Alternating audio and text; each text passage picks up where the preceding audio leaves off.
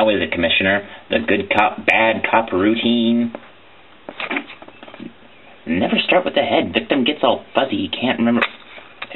See? I'm here. What do you want? I wanted to see what you do. And you didn't disappoint.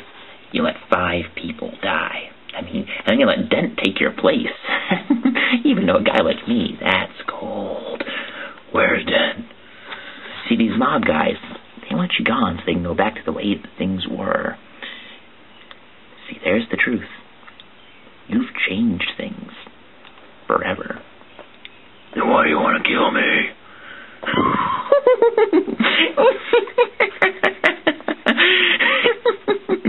kill you? I don't want to kill you. Uh, what would I do without you? I mean, go back to ripping off mob dealers? I mean, you. You complete me.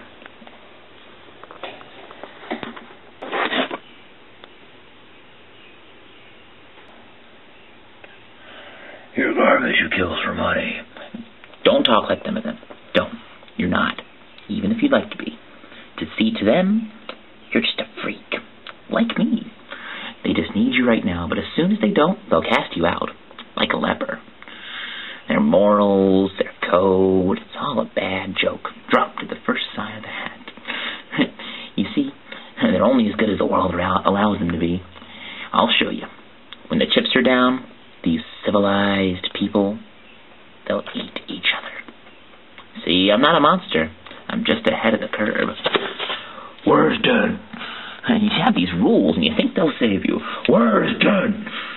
I have one rule. And that's the one you'll have to break in order to know the truth.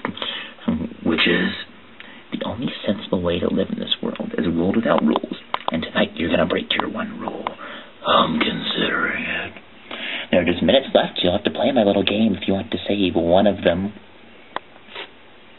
Them? For a while there, I thought you really were a dent.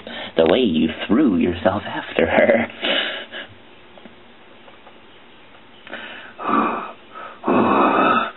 Look at you go.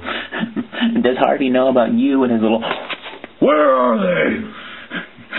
killing is killing is merely a choice. Where are they? You you choose one life over the other, your friend or his blushing bride to be.